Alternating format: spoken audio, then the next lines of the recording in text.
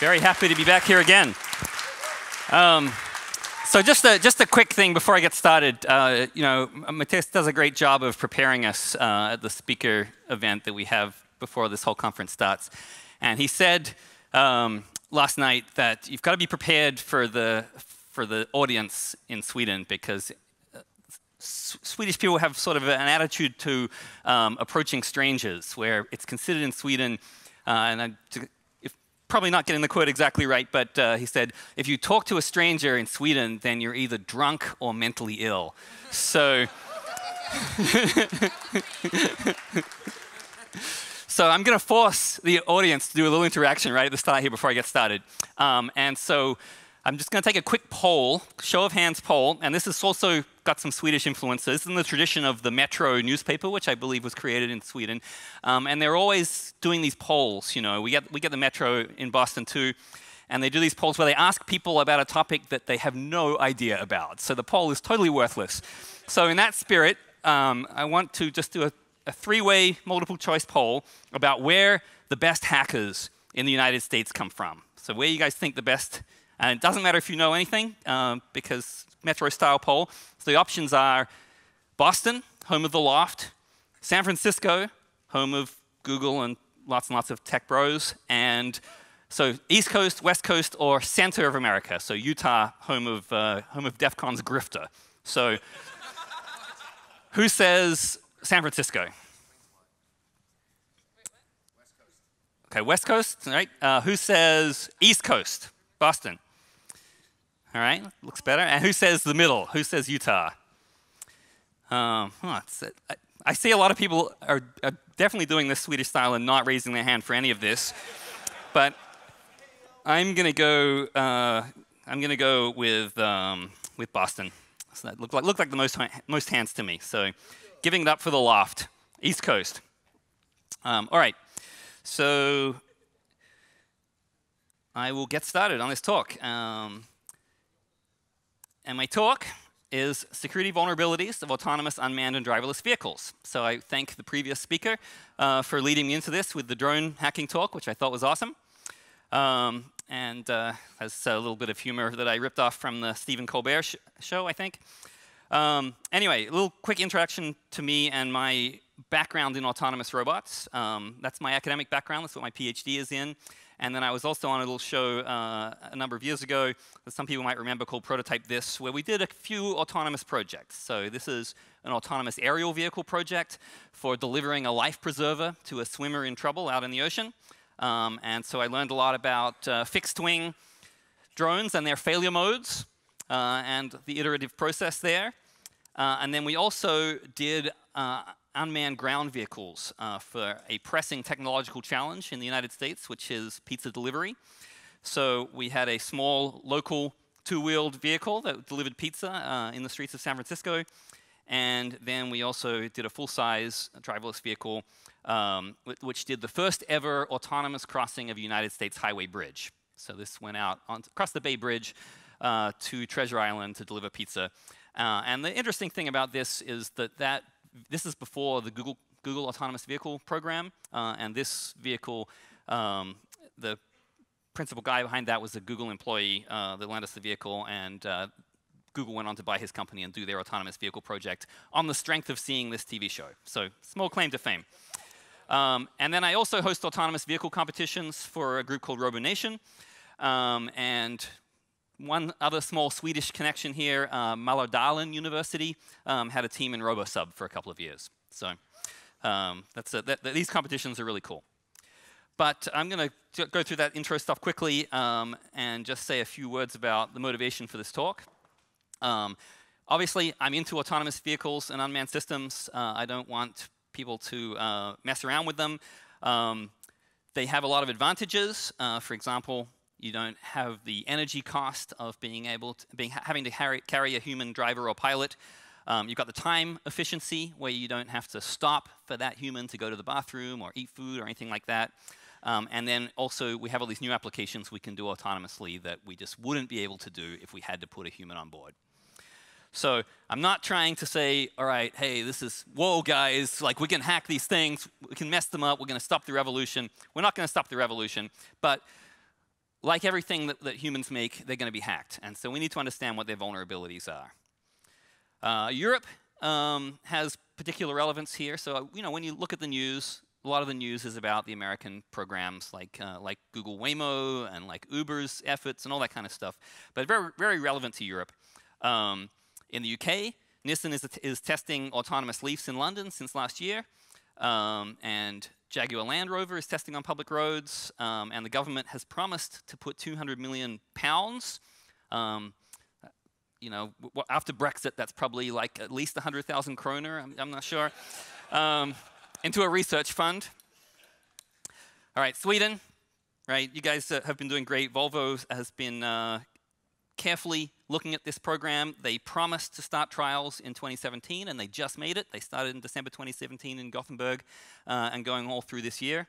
Um, and here in Stockholm, um, there's been an autonomous bus approved to do some sort of deployment this year. Um, in Germany, BMW is testing 40 vehicles in Munich, um, and they have promised to sell autonomous electric vehicles for the Autobahn in 2021. Um, and autonomous bus trials as well uh, in 2018 at a Berlin hospital and another place in Bavaria. And then in France, automated shuttles in Paris started last year uh, testing. And you know, a big part of this is legislation uh, and regulation, and so they've passed legislation to allow open road testing, although uh, there, are, there are big restrictions on it still.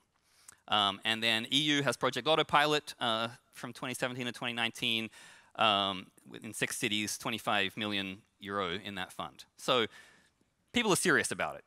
Uh, as well they should be, because here's a, um, a video that I shot of an autonomous helicopter. This is at, at Pax River Naval Air Station in Maryland, uh, undergoing testing. And you just have to look at this and you can say, yeah, like helicopters are really hard to fly. It's kind of a job for a robot. You know, robots are very, very good at doing this kind of thing.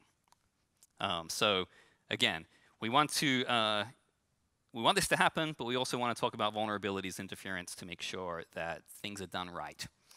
Uh, interesting side note on this photo, uh, this video that I took. Um, while I was taking the video, I noticed what the sort of test engineers were doing while they took took off.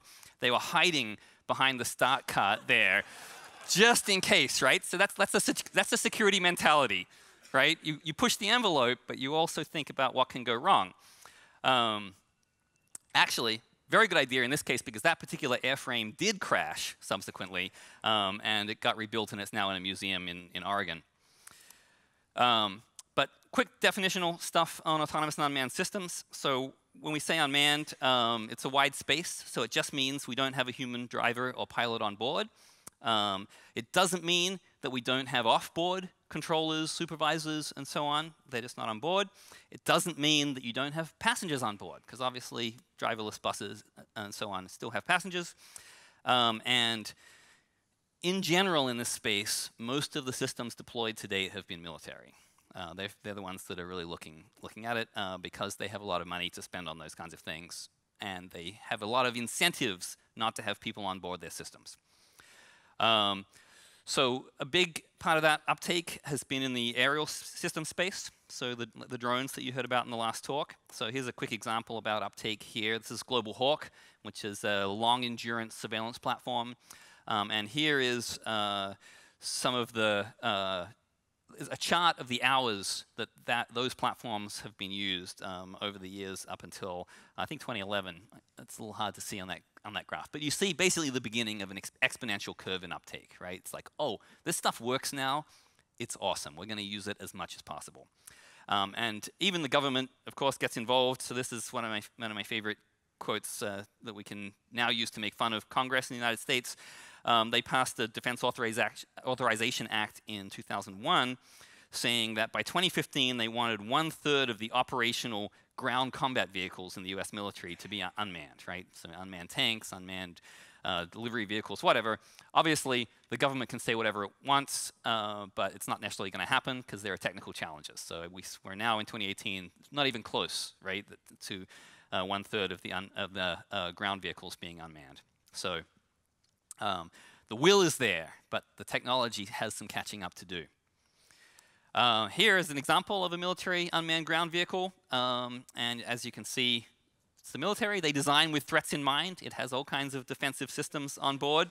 Um, but the, the thing I like to point out here, because this is a test vehicle, uh, it's also covered in kill switches. So you just have to get close enough to press the button.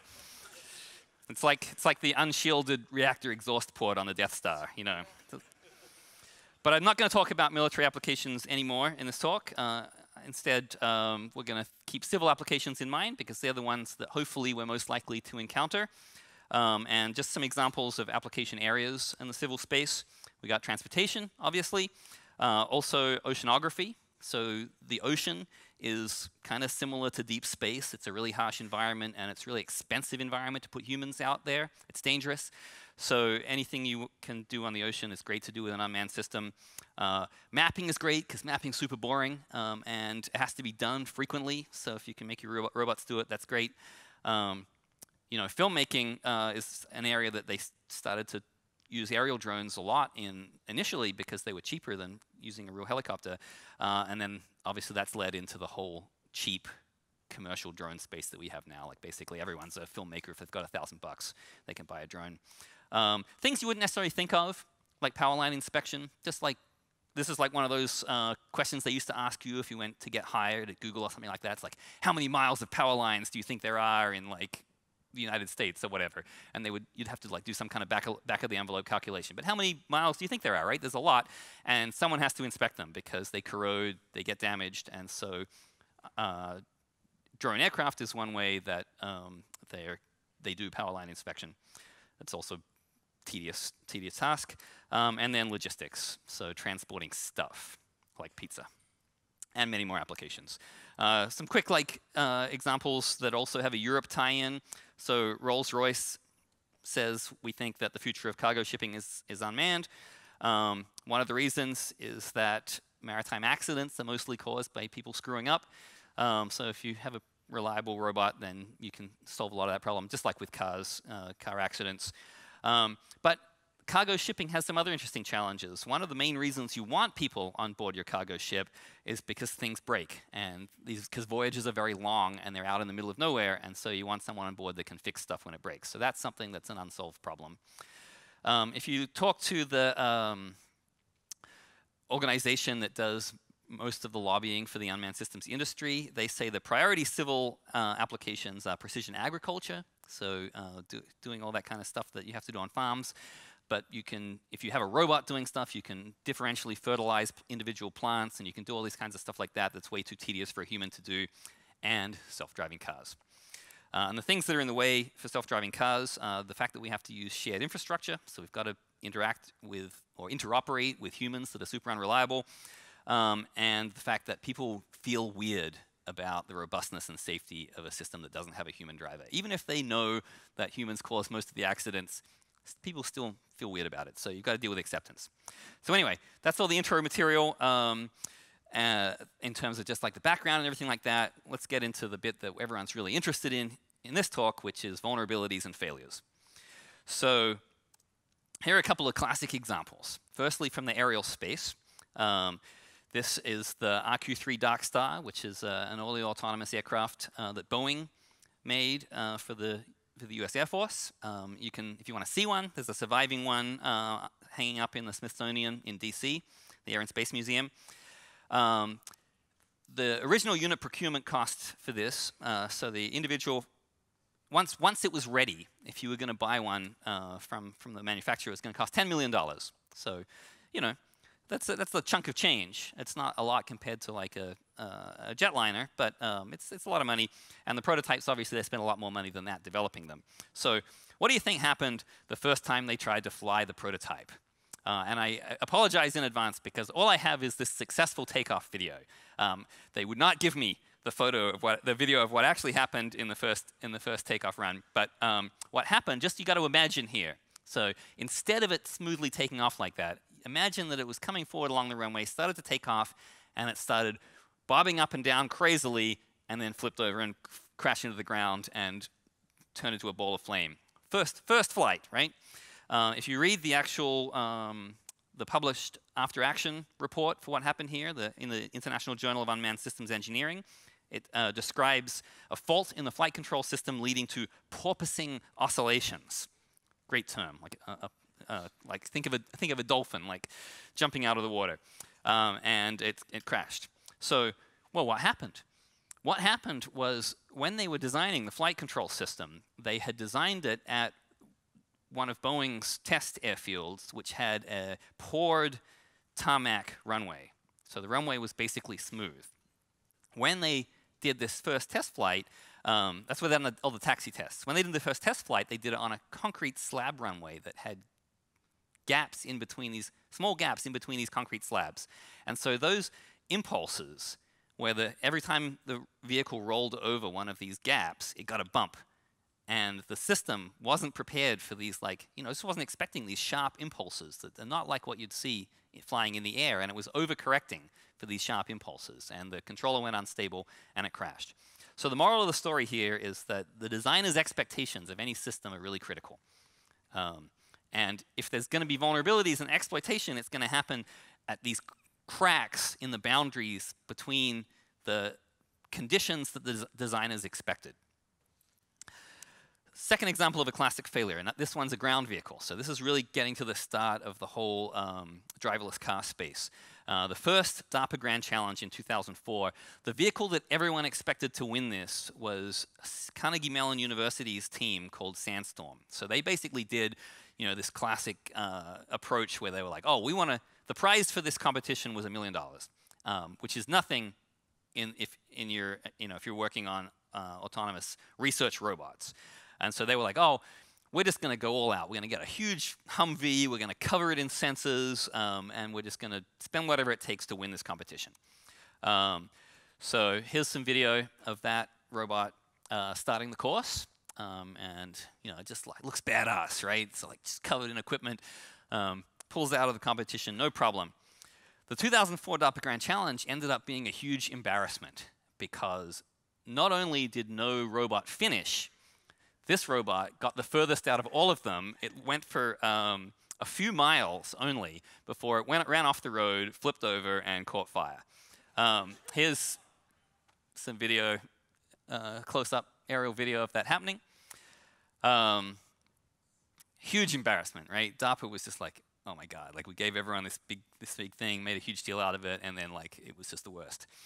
So anyway, what happened? Well, uh, because DARPA really wanted this first competition to be a success, they gave the teams 24 hours before the exact route that they needed to go to drive this vehicle. Oh, I forgot to mention, if, if you don't remember the first Grand Challenge, you had to drive from Los Angeles to Las Vegas uh, autonomously. And so there was a lot of dirt roads and stuff like that because they couldn't do it on public, uh, public highways. So the teams, if they had enough manpower, which CMU did, were able to walk the entire course and take GPS readings all along the way. So you could have completed this course just by following a GPS track, right? Super simple.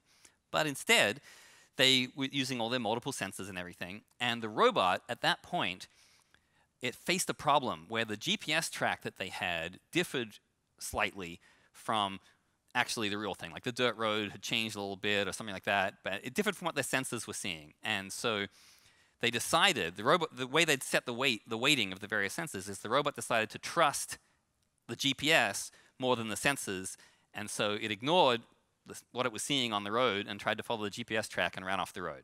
So the moral of the story there is it's a constant battle trying to decide what does the robot really know. The robot's getting all this information, and sometimes it disagrees, what's really going on. And so having, a, having correct estimation of the state of the robot and the state of the world around the robot is key to making decisions that work.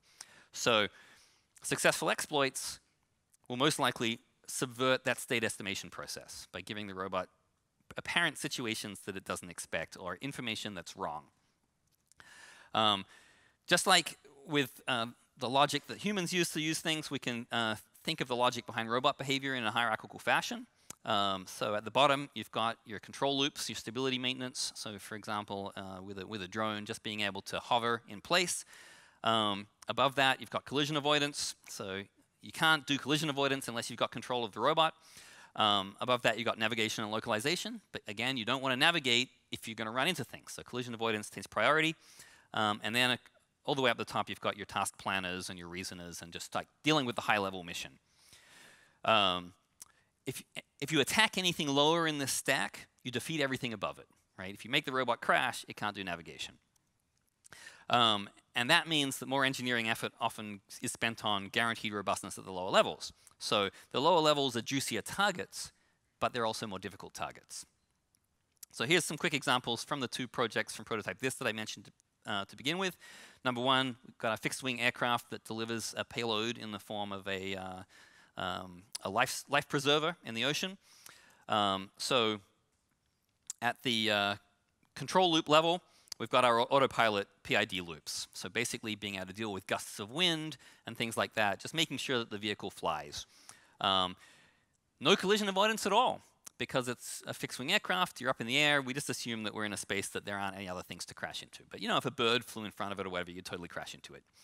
Um, navigation system is all GPS. So we've got waypoints. Uh, we've set a waypoint um, to make an, a, a, sort of an approach path. We've set a, a, a, waypoint for where the person is that needs the package. And then finally, our task planner generates this dynamic bombing run based on those GPS waypoints and says, okay, like what's the optimum way that we can come in and make sure that we drop this thing in the right place. So we're vulnerable to collision, and our high-level logic depends on only one sensor on GPS. So just like in the previous talk, if we spoof GPS, we've owned the platform. Pizza delivery, uh, a little more complex system. So this is the local street-level pizza delivery. So uh, in, on our uh, control loops and stability maintenance, it's a two-wheel platform. So it's got a self-balance. So we've got all these control loops running at the bottom level, just making sure that this thing doesn't fall over. Um, but of course, you can, if you kick it too hard, it will fall over. Uh, collision avoidance is done with dynamic obstacle uh, discrimination avoidance. So it has basically um, a map that it's built up and it knows what's not supposed to be there and it avoids those dynamic things that are not supposed to be there. Um, and that map is also used for its navigation and localization. So we generate a sensor map and do SLAM on it, simultaneous localization and mapping. Um, and then at a very high level, we've got our motion task planner and our reasoners. So that basically says we're going to get from the base to where we're going. We're going to dispense the pizza only if the person displays the correct authentication credentials. And then we're going to return to base once we've delivered the pizza. Um, so this system, much more, much more sophisticated system than the aerial drone, um, not vulnerable to straightforward uh, collision things, for example. Um, but there are other attacks we can do to it. Redirection, trapping, map confusion attacks, right? Because that map is dynamically generated. So if we can create obstacles that don't seem dynamic, they're going to get incorporated into the map, and then the, the robot's going to have the, the wrong idea of the real world. So we'll get, more, get into that more later. Um, quick thing on the logic structures underneath this. So basically everything's going to have some level of state machine inside it. Um, and those states uh, might correspond to tasks that the robot has to do. Um, and transitions between them might be uh, task com completions, right? So successfully navigating to to point B from point A, for example, or switches in the context, like, um, oh, well, I'm supposed to do something else now, uh, or even timeouts, like when the, when the robot, robots are not very good at sensing when they failed to complete a task, right? Successful task completion is easy, failure is not, and the robot will usually just keep trying, but sometimes you're like, all right, just forget it, go do the next thing. Um, and then within individual states, you might have substate machines, or you might have other reasoners and planners inside them. So there are vulnerabilities potentially in state estimation, um, in the transitions between them, so spoofing state transitions or preventing them from occurring, um, or unexpected conditions within the states. So um, let's take a look at all the sensors that are used uh, on various autonomous vehicles. Uh, there's some are active and some are passive. So some uh, just read in information from the environment, and some actually actively send out information and then get a return back on it. Um, and so examples of each, either of those, obviously GPS is passive because you're just receiving a signal. Um, radar is active because you're sending out a signal and getting back a return. So here are some common sensors, and uh, I'm using one of Google's early cars here just to show you where they're located physically. So GPS, uh, very common. And usually there'll be two GPS sensors, so you can do differential GPS, usually on the roof, so they've got a good unobstructed view of the sky. Uh, LiDAR, which is a basically like radar, but with light. Um, and the, the, spinny things on the top of many vehicles are usually spinning lidars. Um, cameras are very common because cameras are cheap. Um, millimeter wave radar uh, used for collision avoidance, uh, usually on the front and back of the vehicle. Uh, ultrasonic transducers uh, are present. Talk some more about that later. Um, then you have a digital compass so that you know which way north is. Uh, an IMU, inertial measurement unit, so that measures accelerations and gyroscopic forces so that you can get changes in, changes in angle. Uh, wheel encoders, so you can do odometry. Um, and then th these are all, you'll find all these sensors on a car, on an autonomous car. But other applications will have different sensors. So underwater, for example, uh, a Doppler velocity logger uh, is an acoustic sensor that reflects uh, sonar pulses off the bottom, and so it allows you to determine your, your speed in, in the water column um, and how much distance you've traversed, uh, and things like scanning sonar un for underwater, um, and then for air and for underwater, you have pressure transducers so you can tell your altitude or your depth. Um, so that's, that's a quick overview um, and a quick sort of list about things that are important about sensors.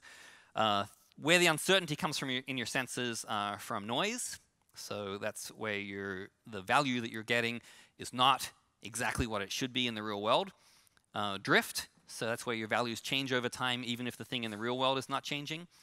Um, and then latency and update rate. So if, you, if it takes too long for your reading to be collected and processed and the real situation might have changed, um, or if you only get that reading like once a second or something like that, then the, the real instantaneous state of things can be quite different from what, than, from what your senses make it look like.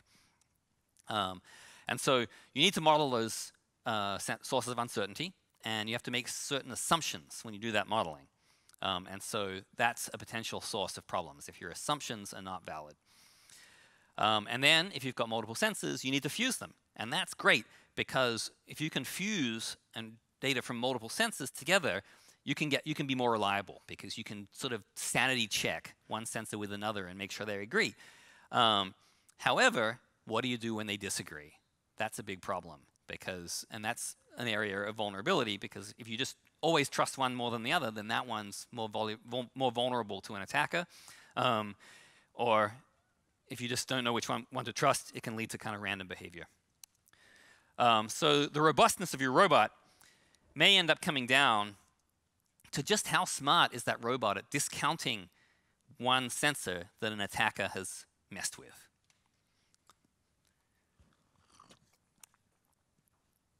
So let's look at some attacks here, um, which is manipulating the input to the robot. So there's two basic kinds of attack. You got your denial, your DOS attack on the sensor, so making sure that the sensor just cannot recover any useful data at all.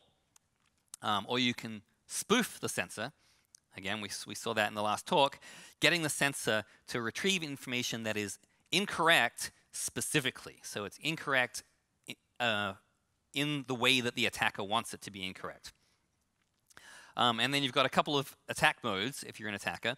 You can just instantaneously attack the sensor. So every time the sensor reports data to the robot, it gets it wrong.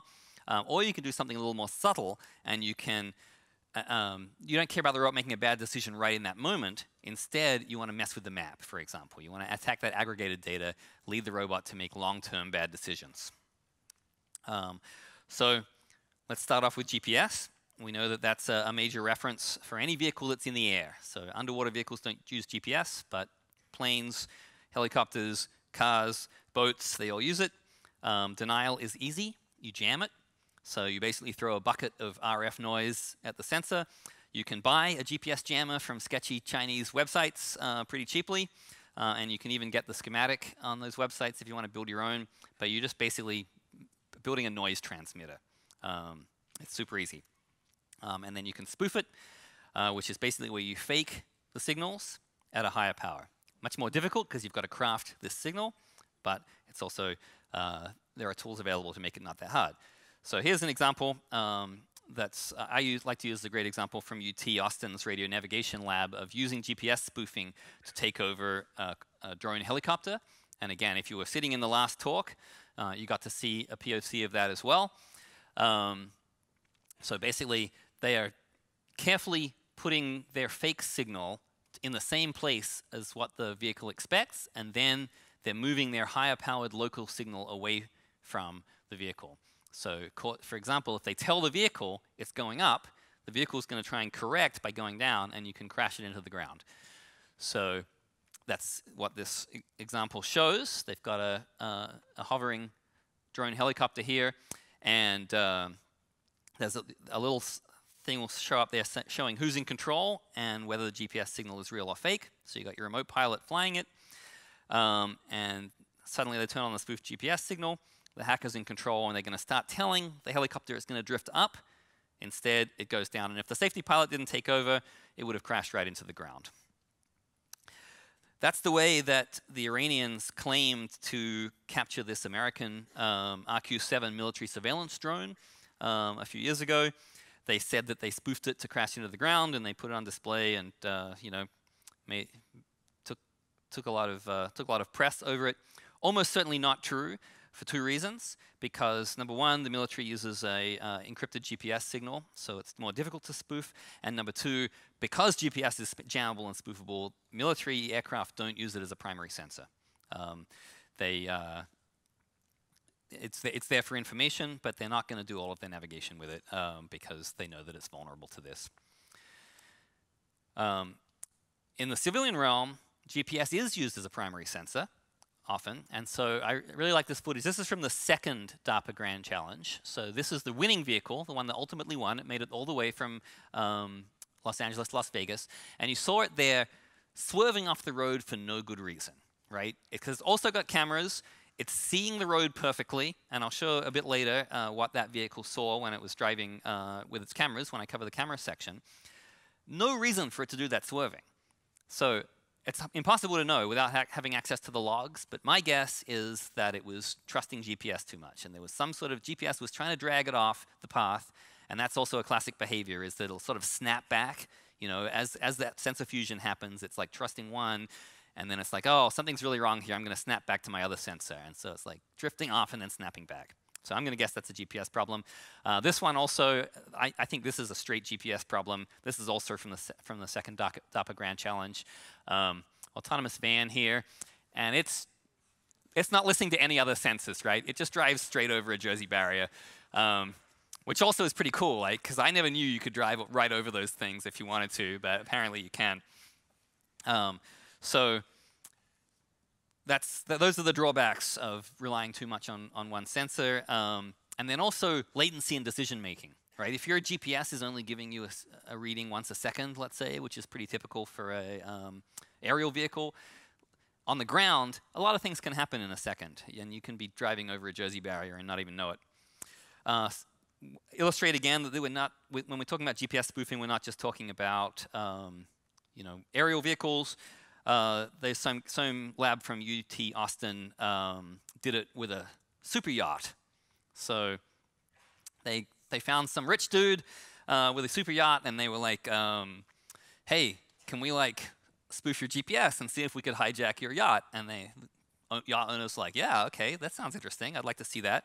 Um, because when you're out at sea, you have no visual references for navigation right? Especially if it's during the day. At night, you could use a sextant, you know, and take, take astronomical readings, but no one does, right? We've, we've turned off most of the old things that sailors used to use to navigate. Even the LORAN system was switched off a few years ago.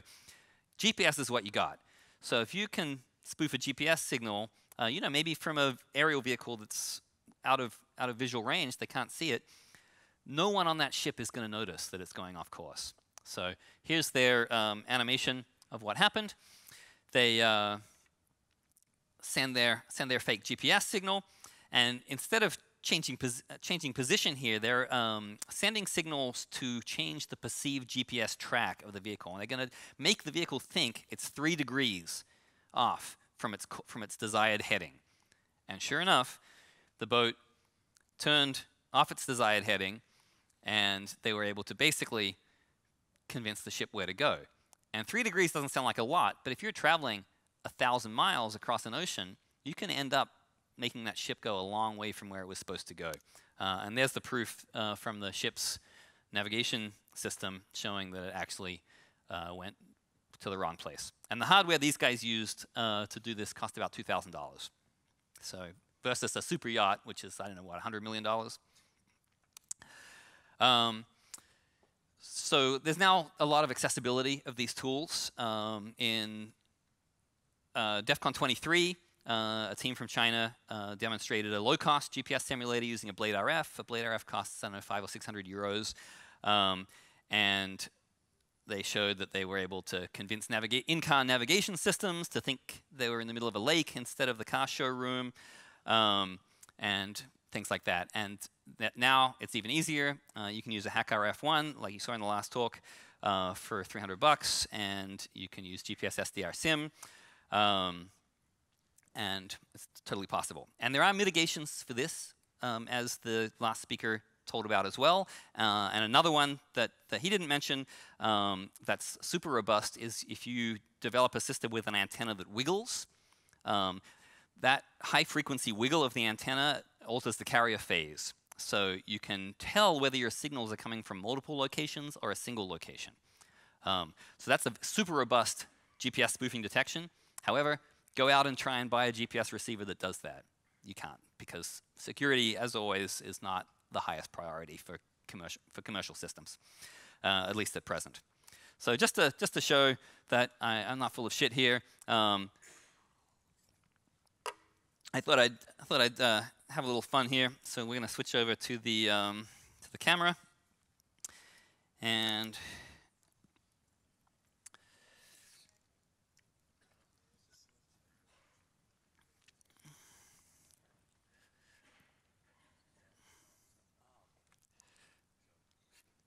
So we got got video. So I got my got my stock Garmin GPS here, um, and takes a little while to boot up because this is a this is an old one, and there we go old map too. And let's see. This is this is this I first time I've done a live demo of this and oh I see I am not transmitting. Hang on. The, the demo gods are always always difficult. So this is this will be good because now we hopefully see some signal come in. There we go.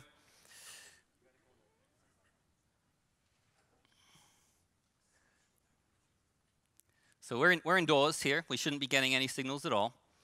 Um, but as you can see, I can see a lot of satellites and I have to have to think for a little while.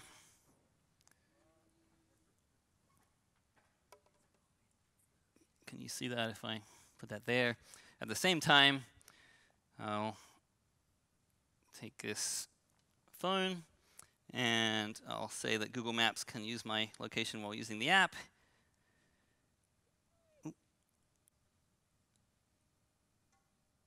Google Maps. We'll see which one gets the idea here first.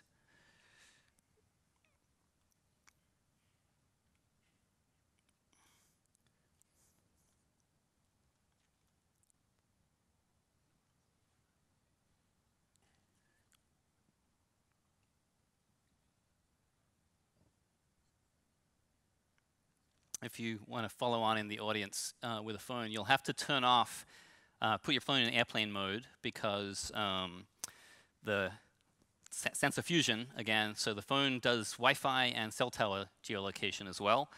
So um, it won't work if you have your phone being able to see cell towers and Wi-Fi networks. Uh, you need it to be in GPS-only mode. Anyone, anyone else getting anything here?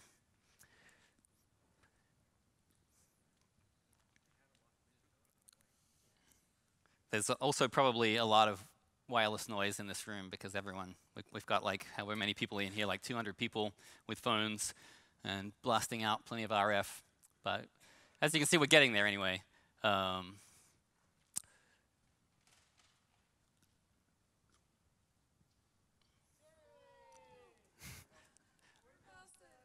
All right, yes. So that's the point of my poll at the beginning, um, was to put everyone in Boston. Can you see where we are in Boston?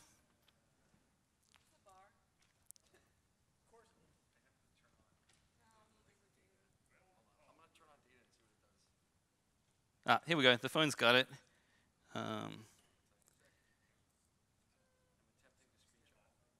so as you can see, we're here on the East Coast. Oh, and we've got our accuracy on the on here. Yeah, exactly. Uh, oops. So we're we're at the name, we're at the location that is a famous hacker's handle in Boston, um, Weld Pond of the L0pht.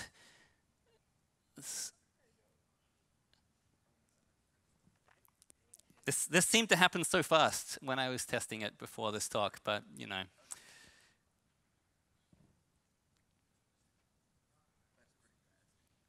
Oh, it's, it's dark in Boston, so we're in night mode. Uh, apparently, it thinks we're driving at 150 miles an hour, so um, I guess there's some jitter in the signal. I wish it would just show this map.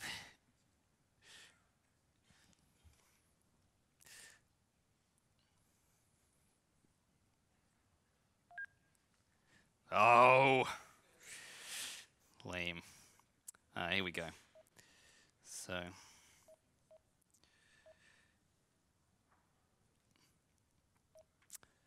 Well, all right. I didn't sacrifice the right goats uh, because the demo is like not as totally not as slick as I want it to be. But the real location that's being sent out uh, is not Blue Hills Reservoir. It's probably close to that. Um, it's Weld Pond.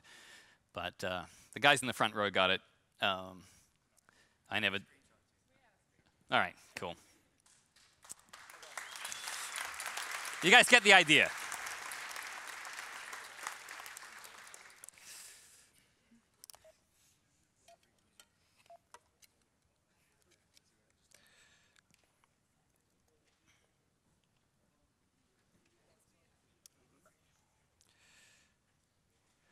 So, again, if you've got um, 300 euro burning a hole in your pocket, you too can uh, go in and mess with mess with GPS signals, which obviously should only be done for educational purposes like we're doing here. Uh, moving on from GPS to LiDAR. Um, LiDAR is a laser rangefinder that scans, basically. So these things originally came from industrial monitoring sensors. They were used, um, like the ones that are uh, here. That's like a SICK laser rangefinder from a German industrial company, basically used to detect when people got into spaces they shouldn't be um, in factories and stuff like that, you know, to, to, for, for safety protection. But robot people were like, oh, this is actually an awesome sensor. We can see what's around the vehicle.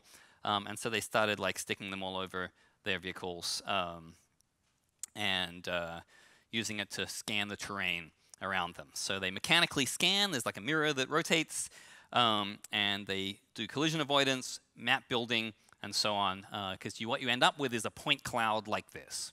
So you get, get all of these 3D points uh, where you got to return, and it's up to you as the robot designer to make sense of that data and decide, you know, what, how to stitch all these things together into solid objects and decide, you know, what to do with it. Um, so in terms of vulnerabilities, you can uh, do denial by actively overpowering them. So if you just hit it with a blast of light in the right frequency, in the infrared usually, um, you can stop it from getting a useful return. Um, and then you can also spoof uh, in two ways. First of all, you can manipulate the target, so you can manipulate the absorbance or reflectivity of the thing that's being sensed, um, or you can do active spoofing, um, where you send back information that is incorrect to the system.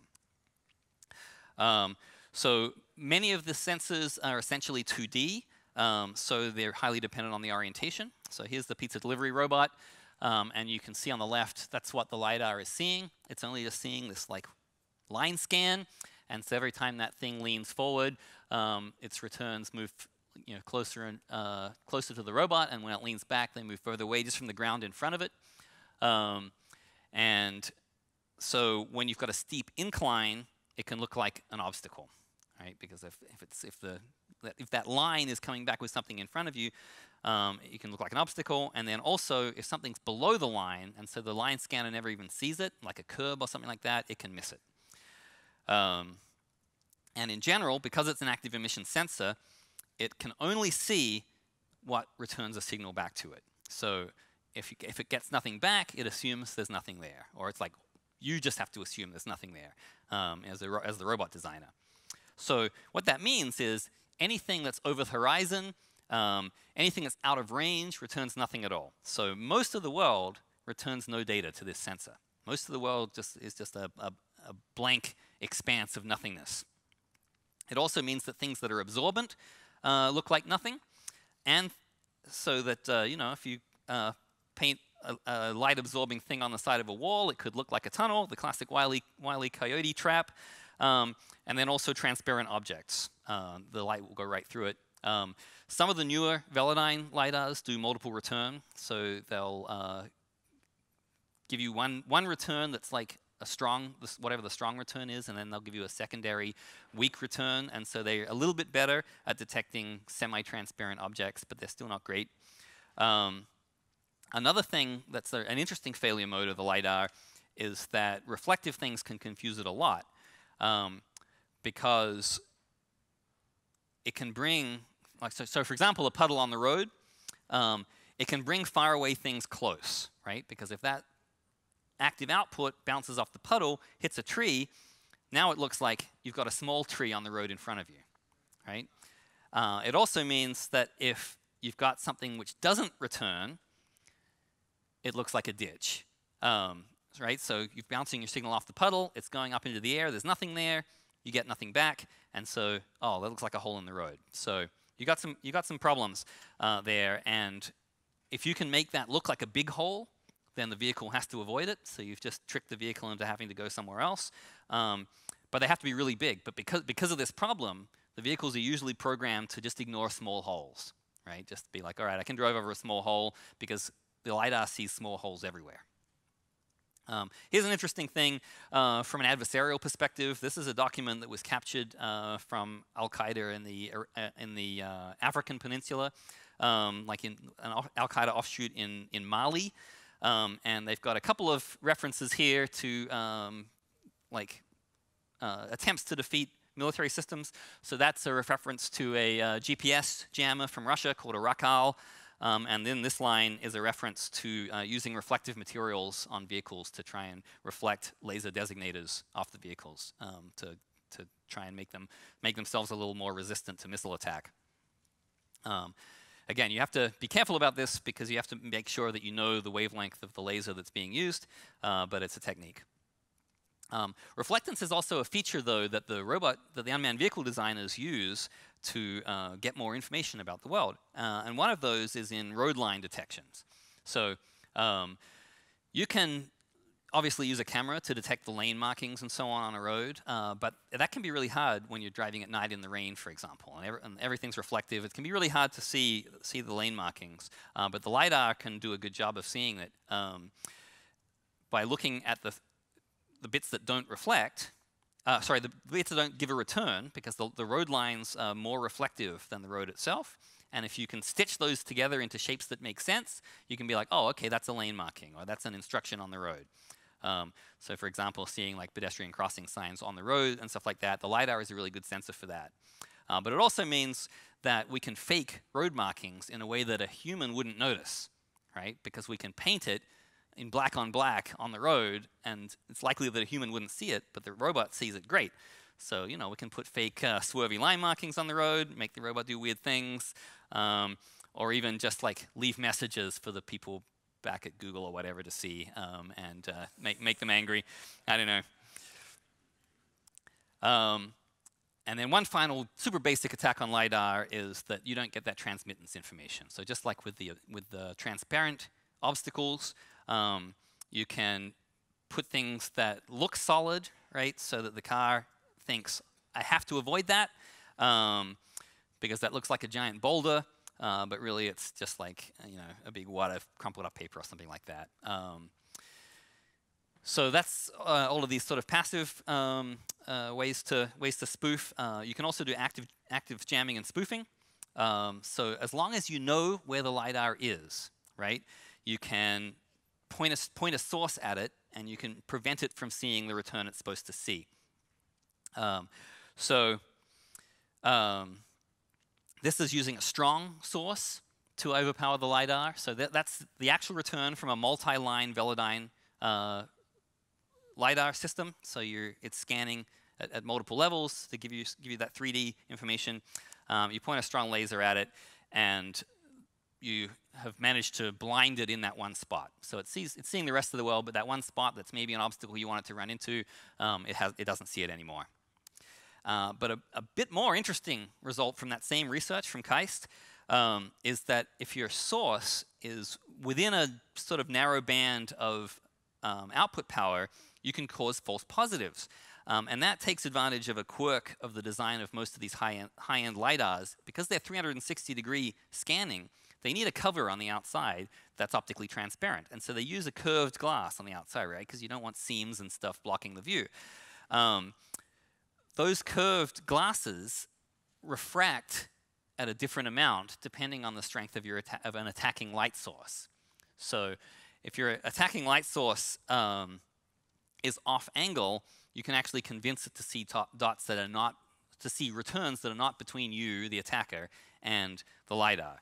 So here's an example. For example, if you've got a, a vehicle that's driving along next to um, a, a, a, driverless vehicle that you're trying to confuse, um, you can point your LiDAR from next to it and make it see things in front of it, even though that's not where you are.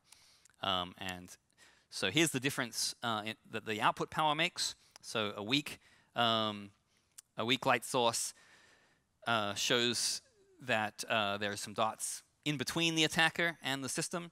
Um, and then here for a strong, you can see the induced fake returns are off to the side. So uh, we, can we can force a vehicle to stop even if we're not right next to it. Um, here's a more sophisticated spoofing attack. It's a relay attack. So what we can do is we can look for the pulses from the real LiDAR, and that will give us some information that we need, uh, which is the pulse rate um, and the time difference uh, that the system is expecting. And then we can use that, we can characterize the source, and then we can send back our return pulses in advance of getting the, the, pulses from the system. So we can simulate a target in between us that's closer to the to the uh, to the vulnerable vehicle than we are. So um, obviously the timing is really critical here. You need a little time to characterize the source before you can do it. But once you have it, you can see here that um, sending pulses back that are slightly afterwards give us indu induced returns that are um, further away uh, from, you know, not between us and the target. Um, and here, uh, by changing that timing, we can make those false returns, that false obstacle look like it's between us and the system. Um, so this is, a, this is a very difficult attack to practically pull off, obviously because you, ne you need to know exactly where the LiDAR is. You need to be able to observe it for long enough that you get its timing and beam characteristics. Uh, probably easier to do from a fixed platform, but once you have, then you can generate these fake obstacles. Um, and so these systems that rely on LiDAR to the exclusion of everything else, like especially, let's say you've got a driverless vehicle, sure you've got GPS, but you can't use GPS when you're in a parking garage. So when you're in the garage, you're probably going to use LiDAR for almost everything, and that's a point where the vehicle is very vulnerable because you can trick the LiDAR. Um, one system that's out there a lot is the Tesla, Tesla Autopilot system, uh, and that's an interesting system because it doesn't use LiDAR at all. So Tesla is doing everything uh, primarily with vision, so they've got cameras um, everywhere pointing in all directions from the, from the vehicle. Uh, they're also using white radar, which I'll cover soon, um, and uh, they're using uh, ultrasonic sensors. So quick stuff on cameras. Um, cameras are used for specialized object detection. So in the case of Tesla Autopilot, they're looking for pedestrians on the road and they're looking for other vehicles. Um, and sometimes systems use stereo uh, although not so commonly, uh, not Tesla, for example, uh, but not so commonly in deployed systems, but they are used. Uh, one thing they're often used for is to colorize the LiDAR. So what that means is to take your LiDAR data and then add color information to it, fuse it with the, uh, fuse it with the camera. So here's what I promised to show you earlier from the um, uh, Stanley vehicle in the second DARPA Grand Challenge. This is how it's doing its road versus non-road detection. It's getting that LiDAR map and then it's fusing it with color inf information from the camera. And then it's deciding like, okay, if it looks flat, and it's the right color, we can extend that beyond the range of the LiDAR and get an idea of the road ahead, and so we can drive really fast. That's how basically it won the second DARPA Grand Challenge. But that's how we also know that when we saw it driving off the road, it was probably having a GPS problem. So cameras are easily denied by blinding them with dazzling lights, um, and they're also uh, easily spoofed by the same camouflage techniques that work on people. Um, and if they make assumptions about color, we can subvert those. If they think green things are grass they can drive on, we can make green obstacles. Um, and we can use repeating patterns to confuse stereo systems because stereo systems depend on being able to match parts of the image from both cameras. Um, as machine learning vision has become better and more popularly deployed, it's still not actually used that, lot that much in driverless vehicles, uh, but it's getting there. So people have do started doing a lot of adversarial spoofing and trickery for machine learning vision systems. So uh, this is a famous paper um, that where they were able to put just black and white tape on stop signs that would uh, fool a system that was designed to detect stop signs into thinking the stop sign was something else. Um, and as you can see, a human can still see that as a stop sign, but the system thought it was something totally different. So that's one side of adversarial uh, uh, uh, examples, which is to impede detection of real things in the environment. The other is to cause uh, false detection of fake things that are not in the environment. Um, so uh, here's another example um, of impeding detection of real things. So this had a neural network model to detect people, and then by adding noise to the image, um, they were able to make an adversarial example where the people were not recognized anymore.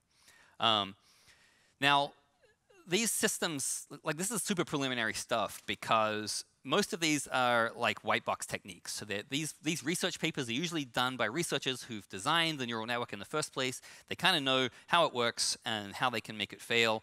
Um, that second example, for example, if you can inject noise, like crafted noise, into the camera image, it probably means you have a presence on the internal network of the vehicle. And if that's the case, there's like way better ways you can mess the vehicle up. So it's just not, not that useful of an example. Um, and the case of the, the stop signs, same thing. They knew how their stop sign detector worked. Um, if they were trying a, a, black box attack, it would be much more difficult to craft something. And they also are not that reliable in the, in the face of parametric distortions, right? They, they feel like you know, they, they can view the stop sign from very constrained angles, but in the real world, they don't know exactly how the car is going to see it. There's going to be lots of changes in lighting conditions and stuff like that. So this, these techniques are not that applicable yet. But one really great one that's, uh, that, that's fun to mention um, is the adversarial turtles.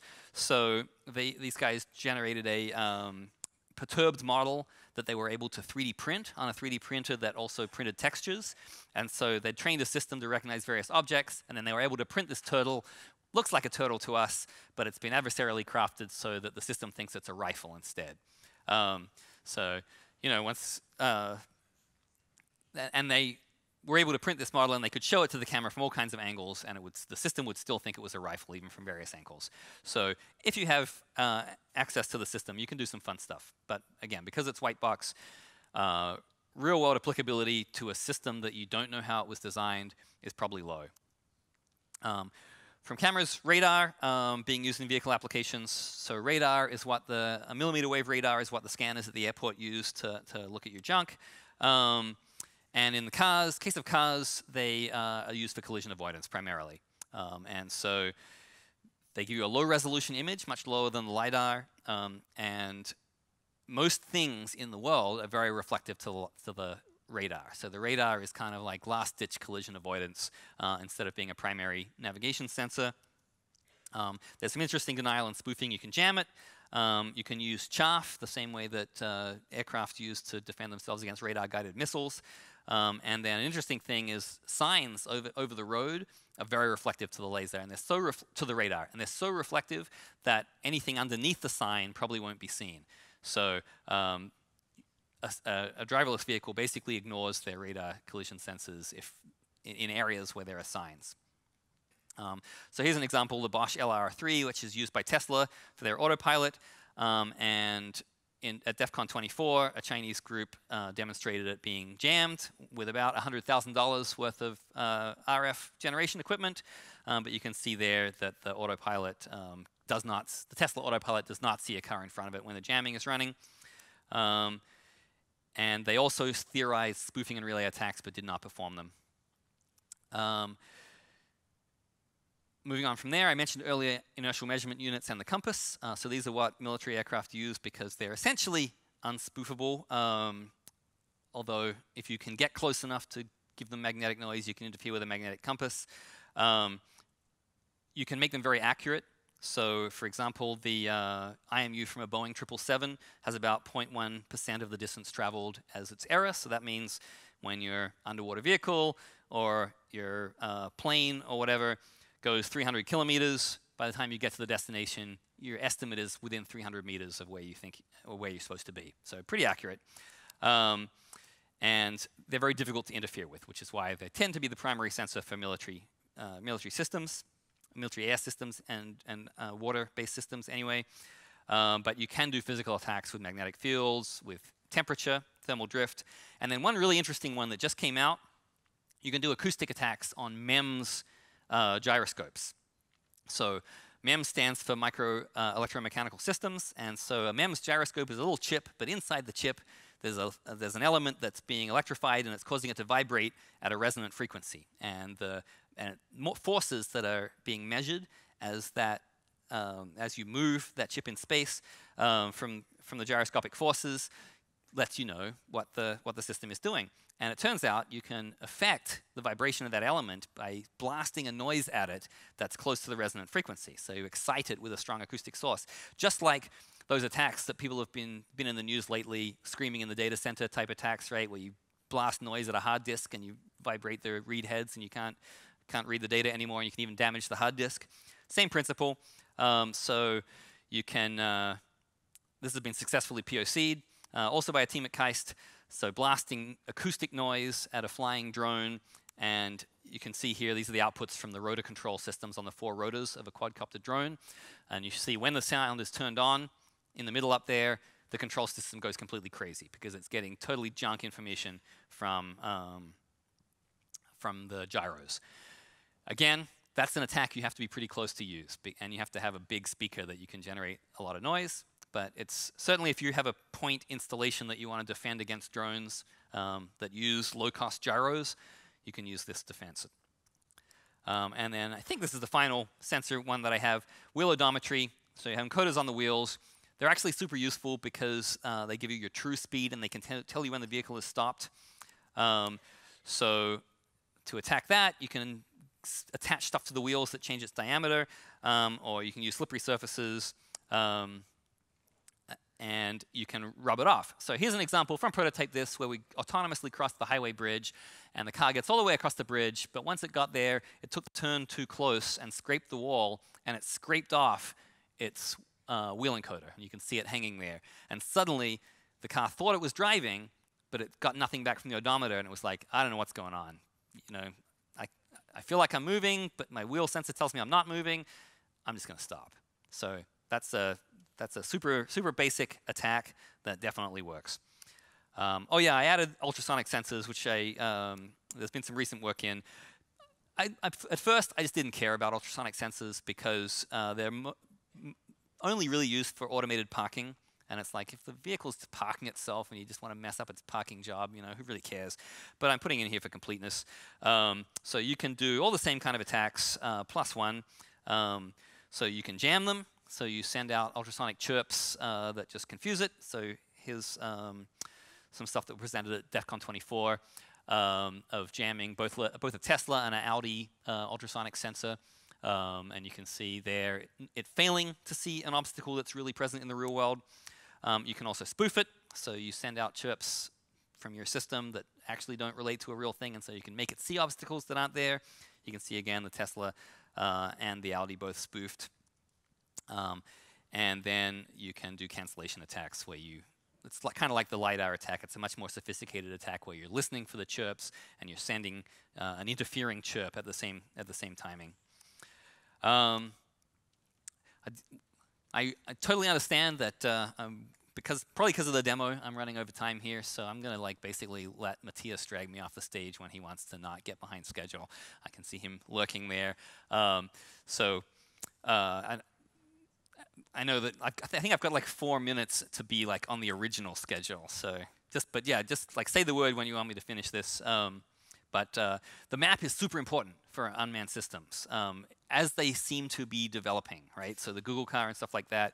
Google's all about mapping, so the map has a huge emphasis on it, um, and it's often considered basically to be the truth, right? If it's in the map, it's real. If it's not in the map, then it's an obstacle or it's something that like a, a dynamic thing that we have to avoid.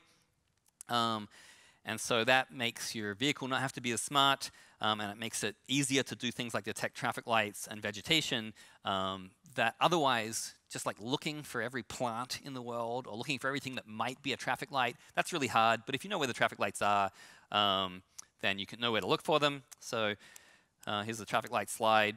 Um, and the vulnerability here is that these are shared roads that we're using, right? So if there's a traffic light, even where the robot doesn't expect it, um, a human's going to see that traffic light and they're going to stop, right? Or if they see a green light, the human's going to go.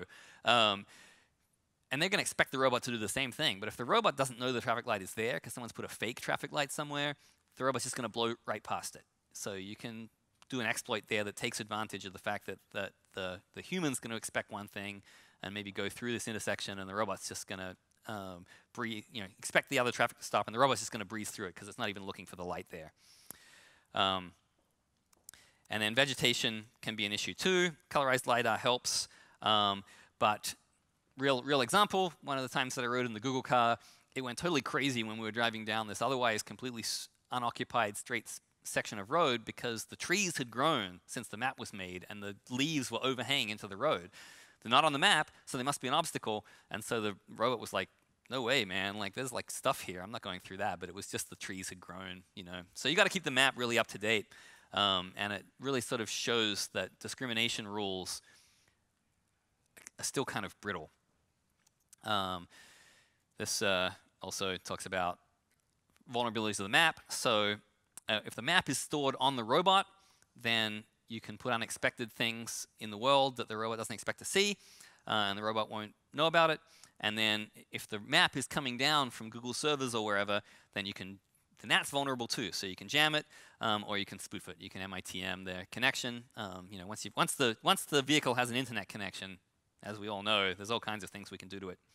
Um, I like this this animation, by the way. This is like sort of not related, but I like it so much I put it in here. This is a, a, set of fully simulated, fully autonomous vehicles that don't have to stop at intersections. So you can see they just adjust their speed based on the detection of the other vehicles, and so they just through the intersection. Totally terrifying if you're in the car. Like you would, you would have to just have black windows to have passengers in those vehicles. Um, so I don't know. In the interest of time, I'm going to skip ahead uh, because I think it's obvious about uh, sort of some of these attacks, um, like trapping the robot by making it think that there's walls around it that it can't escape from, um, or making it go a different way that you want it to by putting fake obstacles. Um, you could use swarms of obstacle robots, for example, robots versus robots. Um, fake stop signs, all that kind of stuff. So do things that a human wouldn't notice, but the robot because it has, has been programmed with a high level of safety, uh, it, it's not able to ignore them. Um, and then you can um, do clobbering attacks where you basically make the robot run into something. Okay, so you, you trick the robot into thinking there's not an obstacle when there really is, and you make it crash. So an obvious thing that you might want to do um, with subtle deviations from the map, light vegetation, uh, simulating something that's coming in rapidly, so the robot has to also react rapidly and maybe crash itself into something else, um, and do obstacles that maybe are closer to the robot than it thinks it is, so you can scrape sensors off and things like that. So, quick reminder of everything I showed you today. Uh, do not use it for e evil. Uh, don't hassle the Hoff uh, 9000. uh, don't all the bots, um, and then let's also remember that the information here um, is going to be we can use it to get things right because we've still got time. You know, we've got all these testing of driverless vehicles, um, but they're not they're not here yet. They're being, you know they're still very much in evaluation mode. Uh, this is a, a, funny quote from Tech Review in 2014 talking about how you know it can't park, can't drive in snow or heavy rain, would drive straight over a pothole. A lot of these things have been fixed since 2014, but there's still plenty of plenty of reason to believe that it's not going to be happening tomorrow. Um, but one thing that is getting rolled out that I just wanted to quickly quickly show uh, in, in, my last minus one minutes uh, is the vehicle-to-vehicle communications, um, which should be of interest to many people here. Um, which are a, a, a, series, it's a specification for a system that uh, sends warnings um, to the driver in cases of rear-end collision avoidance, uh, forward collision, when the vehicle in front of you is braking, that kind of stuff. So just warnings, no control uh, for now. Um, but it uses a uh, dedicated short-range communication system, so basically little radio transmissions with uh, 200 to 500 byte packets um, that are both on vehicles and on infrastructure, so V2V and V2I, um, and this basic safety message protocol. That is, yes, not encrypted because you want everyone to read it, um, but it is authenticated with PKI, so it's got all of the, all of the problems that we know and love from the web coming to your vehicle soon um, via certificates. Um, so here's the sort of like specification of the packets. You got a core, um, and then you got a second part that's appended only when it changes, very specific to various vehicles. Uh, just one thing to draw your attention to, unencrypted GPS. So that's great if we're spoofing GPS because we can see if it worked or not. We can uh, get information back from the remote vehicle that tells us whether it's locked onto our signal or not. Um, most of the security uh, is privacy related because obviously if you've got your car broadcasting all kinds of information about what it's doing, um, very clear privacy implications. Um, the initial deployment is super limited. So if you look down here at the, at the diagram, the dashed line is the initial deployment. So like most of this diagram is not in the initial deployment, but eventually they expect to deliver a lot of stuff. Um, certificates are pre-installed in, in vast quantities because each certificate's only valid for five minutes each. Um, and they still have to decide about renewal, updates, revocations, all the stuff that where, where the all those edge cases that we like to exploit, um, and a lot of this uh, like, you know, splitting functions for privacy protection. So a lot of privacy um, functionality like lo location obscurers, uh, stuff like that. So you know, certificates will be very, very easy to get valid certificates because every car is going to have thousands of them pre-installed because they're only valid for five minutes. But how fast can you revoke a certificate? Five minutes is a long time on the road. Uh, bottom line is slow rollout. 11 years uh, of development to produce that document that I showed the front page of, and they're expecting it to take 37 years for deployment to the full fleet of vehicles on the road. So, you know, while we're talking about like, hey, robots are coming tomorrow, it's going to take 37 years just for cars to talk to each other, right? Um, and they care a lot more about tracking and privacy than other kinds of malicious attacks. Um, and not even talking about direct control. So actually, in terms of like automated control of vehicles on the public roads, we might have robots first. Um, and go check out uh, Cesar Cerrudo's talk at DEF CON 22 if you want to see everything that's wrong with current traffic sensor systems that they tried to fix with V2V. Um, the fact that there's like basically no authentication um, and you can push unencrypted, unsigned firmware updates to these things that are buried in the road, right? So like they're never going to be dug up uh, and fixed. So they're hoping to avoid those mistakes, but of course they'll probably make other ones too. Uh, so that's it. I'm sorry I had to skip through the end stuff so quickly, um, but uh, I just wanted to throw one kind of, uh, I love propaganda posters, so I like to manipulate them. So that's the dream. Again, don't do anything bad to the, to the driverless vehicles, but let's understand their security vulnerabilities to make sure that we don't have a total disaster on our hands out there in the world. Thanks a lot.